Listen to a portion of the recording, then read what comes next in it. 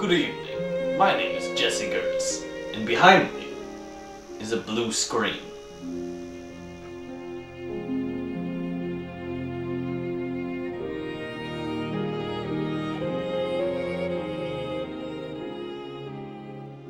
Lesson 1 The History of Chroma Key.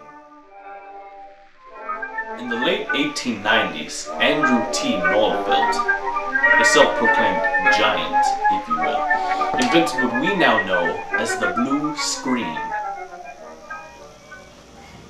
Unfortunately, before the project could be completed, Andrew died of a broken heart.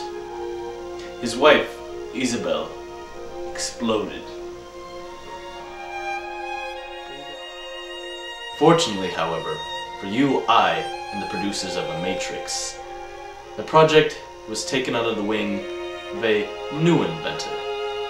Fresh out of Compton, Thomas Edison.